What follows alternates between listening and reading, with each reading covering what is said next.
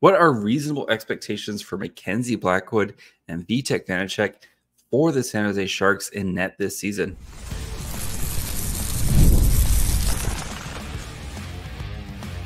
Your Locked On Sharks, your daily podcast on the San Jose Sharks, part of the Locked On Podcast Network. Your team every day. Hello, welcome to Locked On Sharks, the premier hockey podcast covering your favorite team in the Bay Area. My name is JD Young, caretaker of the Reef, also co-host of Western Conference Tuesdays here on the Locked On NHL channel. I want to thank you for making Locked On Sharks your first listen. Probably part of the Locked On Network. We cover your team every day, or at least three days a week during the off season. If you want to be an everydayer, all you have to do is just follow along wherever you get podcasts, or you can watch on YouTube as well. And today we're going to be talking about the goalies, uh, Mackenzie Blackwood and Vitek Vanecek. Uh, look at the stats that ESPN has projected for them. Um, and if Blackwood maybe takes a step back, what to expect for Vanecek in his first season with the Sharks, and why I think we will also be seeing another goalie playing for San Jose at some point this season. So before we get to all that, do want to let you guys know that today's episode is brought to you by FanDuel. Make every moment more as the playoffs wind down. These sports stop sporting like we want them to, but this summer, FanDuel is looking up all customers with a booster, a bonus daily. That's right, there's something for everyone every day, all summer long. Visit fanduel.com to get started. So, as we get closer, start to inch closer towards training camp, um, you know, we're about five weeks out now from from training camp, and start to kind of peek at what what the Sharks are going to be kind of going into this season with. And I think you know we spent a lot of time talking about the forwards, we spent a lot of time talking about you know the defense, but um the goalies, right? You we have Mackenzie Blackwood who's going to be making this you know second season with the Sharks, and uh, talked about recently with him why this could be a big season for him as he is entering a contract season. You have Vitek Vanecek, who the Sharks acquired at the trade deadline last year, will be making his uh, Sharks debut uh, this upcoming season and also entering a contract season. And thought it'd be a good time to kind of to, to look at what expectations are for these so guys. So um we'll start with mackenzie blackwood of course who uh spent last year with the sharks. And uh we'll start by first reviewing his numbers. So um mackenzie blackwood last year uh, he's six foot four, just as a reminder, 225 pounds. He's 27. Uh, he played 44 games with the Sharks, hit a 345 goals against average, 899 save percentage. Gave up 140 goals. Expected goals allowed was 142.4. So his goals saved above expected was 2.4. Um, so he saves 2.4 more goals than you would expect for him. Um, and then with a high danger save percentage at 767. Now, some of those numbers aren't going to blow you away, right? Especially the save percentage, the goals against average, all that fun stuff. But um, anybody who watched the Sharks for more than seven minutes last year knew how important Mackenzie Blackwood was to this team and kind of the nightly heroics that he put on for this team as uh, this team was, of course, the worst team in the NHL last year easily. Um, their minus 150 goal differential, uh, one of the worst we've seen in modern hockey. We know, right? This was a bad team, but Mackenzie Blackwood was definitely a bright spot for this team last year with the way he played in it, especially with what was in front of him. And he was typically under, you know, a, a barrage of shots. Um, night in night out um last year he he had uh 1383 shot attempts um saving 1243 in 44 games uh not the biggest math guy um, but I'm going to do the math right there for you um, in his 44 games. So he averaged uh, like 31 shots attempts for every game played. That's that's a lot. right? That's a lot he, he faced. He was under uh, nightly, just under massive attack by, by the other team because this team was the Sharks team was just so bad, right? Um, expectations for Mackenzie Blackwood going forward. So these stats are via uh, ESPN, like from their fantasy you know they, they look at you know trying to kind of crunch and calculate what what to kind of expect for them. So you're not going to have the analytical stats like the goal save above expected, all that type of, of stuff. But you know, it's kind of more of the hard boil. Like these are just kind of the, the numbers that they project. So Blackwood they project to start uh, to play 38 games with the 363 goals against average and a save percentage of 894 with 11 wins and two shutouts. So he had two shutouts last year. Um, but looking at the goals against average and the save percentage, both those kind of like take a dip compared to the previous season. So I'm I'm kind of in line with those. I could actually see the the numbers being better just because I think the Sharks team is going to be better while it's not going to be incrementally better like right we were in the baby steps of this uh rebuild um right you're gonna have mackenzie blackwood or sorry you're gonna have macklin celebrini and you're gonna have will mm-hmm. smith who are going to help provide more offense you know william eklund in year two uh you hope the defense can kind of take a, a step forward especially with the addition of jake walman uh henry thrun in year two you know ty emberson in year two of shakir Mukhamadullin. like there's a lot of reasons to to believe that this team will kind of make it incremental baby steps forward and where Mackenzie Blackwood maybe isn't under siege the entire time that he's in net. Um, but you know, I, I think for Blackwood, who was relatively healthy last year, I know he has some dings and bruises where he maybe like missed a week or so at a time, but um, you know, I, I think he just he played really well, and it's the first time he was healthy for a full season. So while I can see his numbers maybe taking a little bit of a dip just because regression, natural regression, I can also see them improving. And again, this isn't going to go from like a 345 goals against average like a you know 277 goals against average. Like this isn't going to be some massive um jump like that. But what you know, what if he goes from like a 345 to like a 325 goals against average? And his save percentage is kind of, you know, over like what if it's like a 901, 902, where just a little bit more respectable, right? You're over that Mendoza line of 900 for him. But the 38 games is interesting uh, because that is a big kind of step down in, in his games played compared to last year, where he started 41 games last year and he played 44 games total coming in to to relieve somebody um, in three other games. But I'm I think the 38 maybe feels about right, and we'll see when especially when we get to Vanecek, kind of what they're expecting for him, and um, because I think the Sharks are going to play more than two goalies this year, and we'll we'll talk about that more at the end of the the show. But um, I feel like these numbers might be just a touch a touch low for Blackwood. Maybe this is me wearing teal colored glasses, and uh, if Blackwood maybe he does regress, right? Even if the team's in front of him, maybe he's just not that superhero that we saw every night, um, kind of pulling saves out of his butt type of, of situation. Maybe he gets injured again. Um, there's a lot of variables that could point to him to regress. But if Blackwood play, if he's healthy, I think we will see slight, slight improvements on last year's numbers just because um, I think the team will be slightly better in front of him. And then again, with Mackenzie Blackwood, we talked about a couple weeks ago with Mackenzie Blackwood going into a contract season.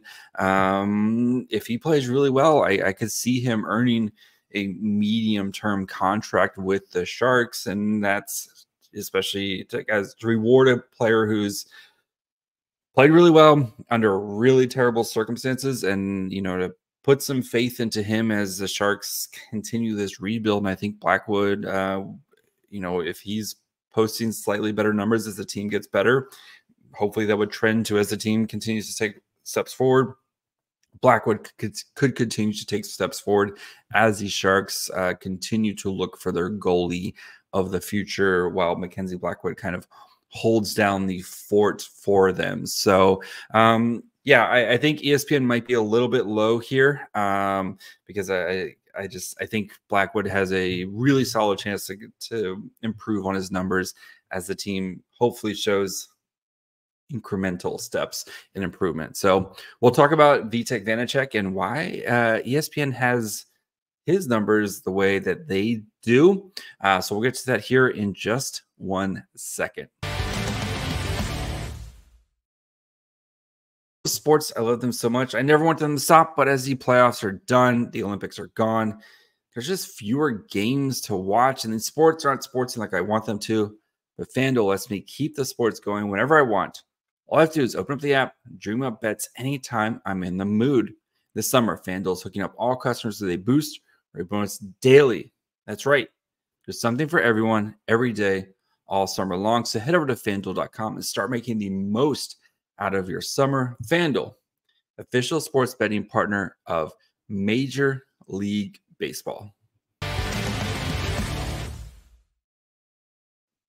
All right. Um, so Mackenzie Blackwood, I think, chance to to be a little bit better. Um, Vitek Vanecek, who Sharks again acquired at the trade deadline last year, swapping out Kaapo Kähkönen for Vitek Vanecek, hoping to kind of uh, get lucky twice in a row with former Devils goalies. Um, how amazing would that be if Mike Grier does it twice in a row, just trading for uh, kind of low value goalies from the Devils and they just come here and uh, turn it around. That would be uh, hilarious to me. But let's look at what Vitek Vanecek did last season for the Devils. Um, so uh, he's 28 right now, six foot 284 pounds. Um, so a little bit smaller. Again, it's two inches, but uh, but the weight there uh, a little bit a little bit smaller than than Mackenzie Blackwood.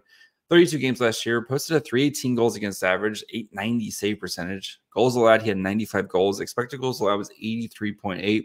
So his goals saved above expected was minus 11.2. The high danger save of 641. So those are not the greatest numbers, and that's a big reason why um, he was traded. Because after you know, if you go back you know the season before when they kind of you know the Devils really made a big jump. Um, Vitek Vanecek was a big reason why they, they played in his 52 games played that in the 22-23 season.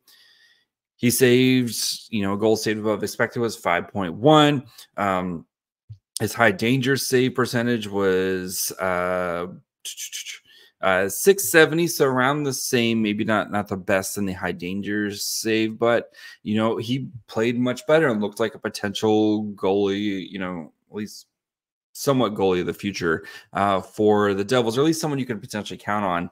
Um, you know, then you push ahead to the next season, and he just fell apart for um, for the Devils, with especially that goal saved above expected. Um, just wasn't the same guy for for New Jersey. So um, that's why the New Jersey went out to go get Jacob Markstrom this summer because they have a team that they feel can win a bunch of games and compete to be, you know, go deep in the playoffs. And they needed a goalie who they could count on. And that's kind of been the bugaboo for the Devils the past couple seasons is they haven't been able to find a long-term goalie um, that they can count on, especially as the games get uh, bigger stakes. So we'll see what happens with that. But Vitek Vanecek, though, with ESPN and their projections, uh, they have him playing 44 games with a 363 goals against average, 901 save percentage, 13 wins and three shutouts. And it's kind of interesting because, you know, while the goals against uh, average would go up, and you kind of expect that for a team like the Sharks, who are probably still going to give up a bajillion goals this year because it's a weird defense and you have young forwards and they're going to continue to be bad. Um, but I, the thing I found more interesting was that Vitek Vanecek would get the majority of the starts. Um, and I don't know about that. And while Blackwood again has had his injury issues, and even last year, right, uh, was relatively healthy, but did have a couple of times where he was, uh, you know, missed some starts because of his injuries, and um, Kähkönen kind of had to, to take the, the, the lion's share of, of starts there. I still think this is Mackenzie Blackwood's net. I think one, he's got some goodwill based on the way he played last year.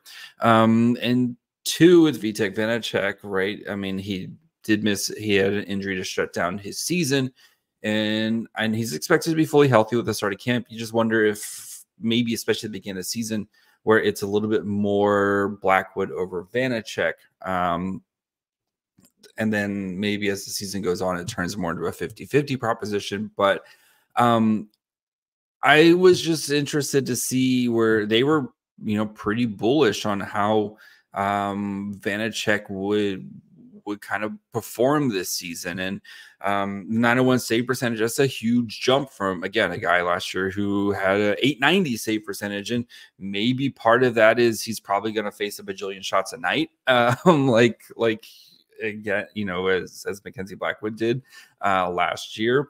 Um, and that's very possible too, where just you're, you're, you're facing more shots. So the thought is you're probably just going to naturally save more. Even if you do give up four goals a night, you're still going to be facing a ton of shots that maybe inflates that save percentage a little bit. Uh, but the goals against average does take a bit of a dip, which I guess maybe lends to that theory, right? Going from a 318 uh, goals against average that he had in the 23 24 season to a 363. That's a pretty, you know, that's basically half a goal jump right there um, in goals against. But the three shutouts I thought was interesting, especially for a guy who had zero shutouts last season. Um, does have nine in his career, so that would be a, a, a big boost in his his shutouts there. Um, but I'm I still like I said, I still think this is Blackwood's net. Um, just because I think the sweat e equity that he put in last year, and I know he does get. Uh, I know Vanecek's contract is a little bit more, you know, there's a little bit higher AAV than um, Mackenzie Blackwood's, but I, I still think this is Blackwood's net going into the year, and their contract difference isn't so huge where it'd be like, you know, Vitek Vanecek is is only making, I think it's like a maybe half a million, maybe a million. Uh I still pull up cap friendly every when I don't mean to. RIP cap friendly, you were too good for us. Um, but yeah, so his is so yeah, it's about a million dollars more, which Eh, it's a million dollars, but it's not like some huge discrepancy where um, you know, it's not like Vitek Vanecek's getting paid like five or six million, which is, you know, kind of big term contracts or starting goalie contract. Like these are both these guys are getting paid in that tandem contract range. Um, so um, I, I, I don't think it's uh, impossible to see a world where Blackwood gets more starts than Vanecek. The one thing though with with Vanecek is he has been healthier throughout his career. Um, last year was kind of the first season where he missed a, a, ton of games because of injury, and you wonder too if also with the Devils situation with the playoffs where they just kind of shut things down with him, and if maybe if he was playing better and they were more competitive, he might have been rushed back a little bit. Um, but that's you know a, a, different discussion for a different day with him. But um, I think the starts, I think the games played is a little too high in those projections. I could see it closer. I could see it closer to a kind of 50 50 splits where maybe they're both get 38 games. Um, and 38 plus 44 is 82, which uh, we'll talk about here in a minute why I don't expect um, them both to just play every game this season. I think we will see somebody else play games. Uh, and we'll, we'll look at those guys here in a minute. But um, I feel like th- those numbers might be a little bit a little bit rich for me uh, with with Vanecek, and and yes, I know he is also going into a contract situation, but I, I still. I, I'm I wonder how he performs on a new team that is going to be inferior to the previous team that he was just on. Um, but we'll see. So I, I would still take. I still think Blackwood is the guy over Vanecek. So uh, we'll talk about kind of why I think we should expect to see other people and who are the names to to keep an eye on here. Uh, as you, of course, the Sharks do have two goalies in in the Barracuda uh, with Georgi Romanov and Magnus Chrona. Why there's, I still think there's a third goalie out there that the Sharks could uh, try to add. So we'll get to that here in just one minute.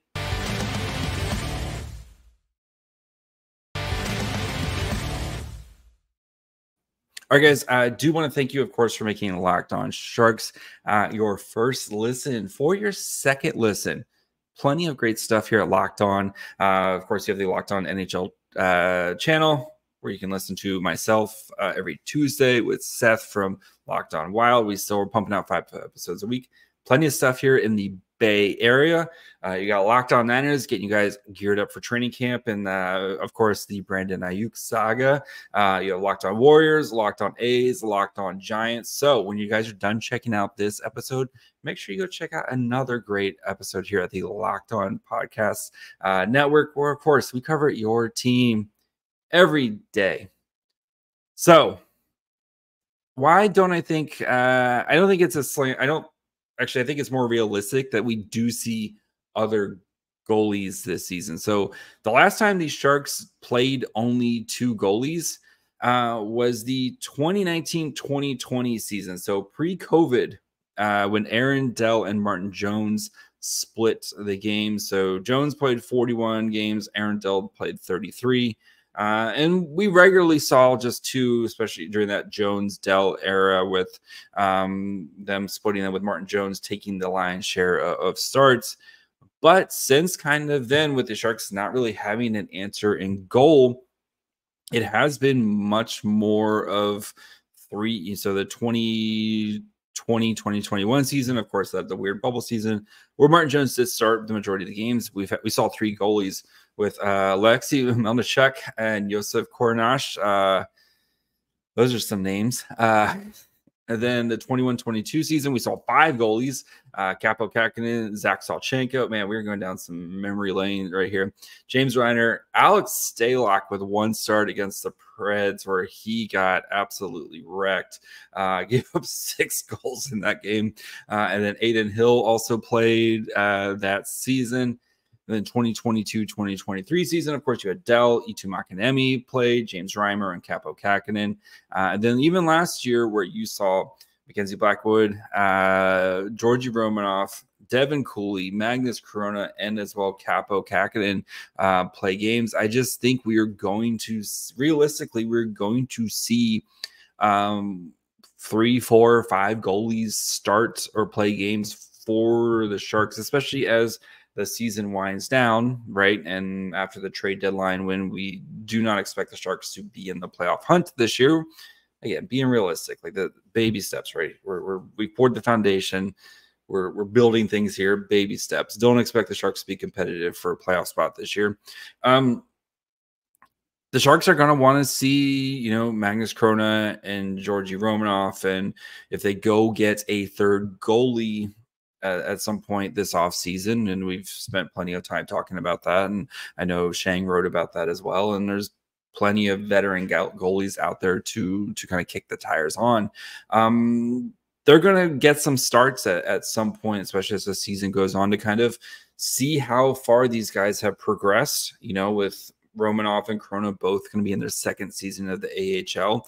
Um, you know, playing pro hockey how far have they progressed and what can we see? And especially you know for these guys as are they going to be continue want to continue to invest in these guys? Or are they going to want to maybe look at trying to move on from from these young players? So um, i would kind of set the over under at four and a half to be honest of, of goalies that we see from that play games uh, this year for san jose.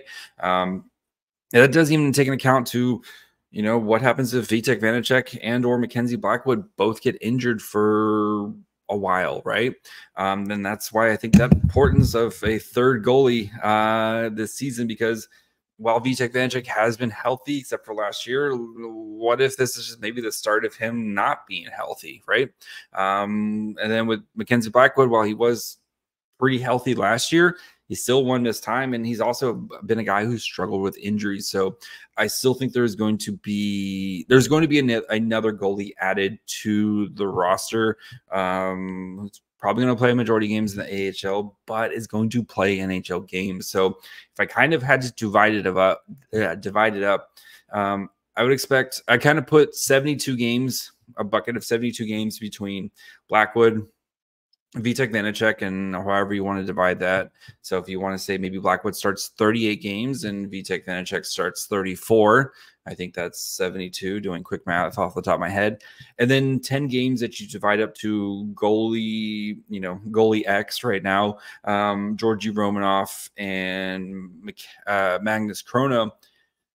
I, I, I think that's reasonable to to be honest of who out who else we should see this season. So um yeah, I'm the projections i get why espn has to maybe kind of do the projections that they do but i still i i think we see other goalies th- this season and you should see other goalies this season um because one you need to just test out and see what have these kids learned. Um, and Romanov, we saw his development last year, especially from the beginning of the season in the AHL. If you watch Barracuda games, um, to the end of the season, he was easily the Barracuda's best goalie, and he played really well. Small, small, small, small sample size, but the Sharks where he's just kind of filling in. Um, but he played well in those spots, and I think it's going to be Romanov's net to start with the Barracuda. Um, again, who knows what what happens with with goalie X. I just I hope when they introduce him, it's like the Simpsons uh, when he was Mr. X and it was just Homer with the bag over his head, and we just don't know who. Maybe they've already signed him and they just don't want to say it until the training camp, and then that's they just I'm I'm Mr. X and it's you know uh, Aaron Dell or somebody just is the new goalie. Um, that would be amazing. Anyway.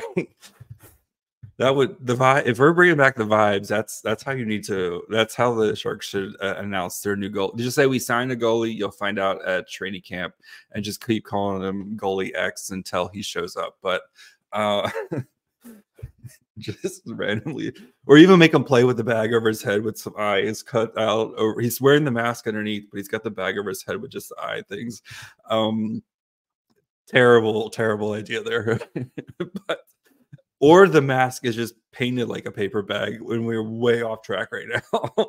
but uh, anyway, I think though for the the Sharks though, like expect them to see they're going to want to give some of these young goalies real opportunities to play in the NHL and, and see where they need to continue to work on and see if they're potential long-term pieces for for the Sharks. So um, that's going to be it for me today and goalie X. Uh, I'm just picturing the brown like just the mask would just painted like a brown bag. Uh, that'd be amazing. Anyway, uh, we'll be back uh, later this week. Uh, we expect to, we're going to dig into some of the World Juniors and uh, Hlinka Gretzky stuff. So uh, we have a, a, good friend making a return uh, to talk about that. We're also going to do a nice little peek around the Pacific Division.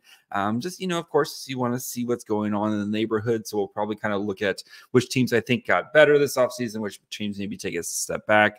Uh, and of course, we're going to talk about that Vegas Golden Knights team and that uh, unprotected first round pick. So uh, plenty of good stuff coming this week at Locked on Sharks. Make sure you follow along wherever you get podcasts. And of course, you can watch on YouTube as well. Uh, follow the show on Twitter, Facebook, and Instagram. Um, that way, you know exactly when the next episodes come out. Uh, follow me on Twitter at my fry hole. Until uh, until later this week. Bye, friends.